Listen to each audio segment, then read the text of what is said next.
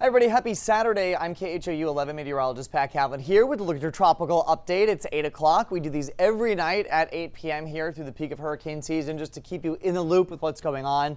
So far, it's been a very quiet hurricane season. Hopefully that continues. We have had a decent amount of activity in the Atlantic over the last few weeks, but that has really started to wind down. And now we're just down to one tropical wave, now with 50-50 odds of developing here off the coast of West Africa.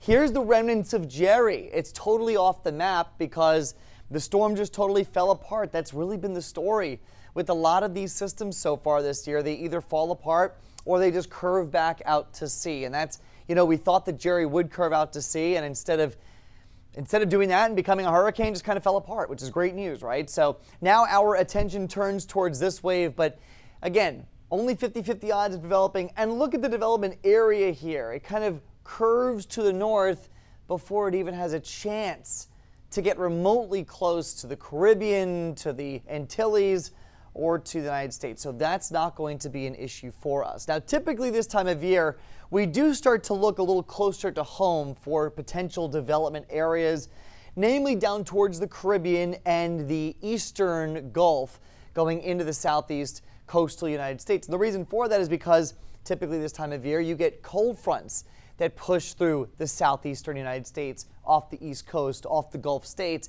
And those cold fronts, as they move over the warm tropical waters, can act as kind of a focal point for any developing new systems. So uh, that's why it becomes a little more common to see activity here. Notice though, we're not really included in that here in Southeast Texas.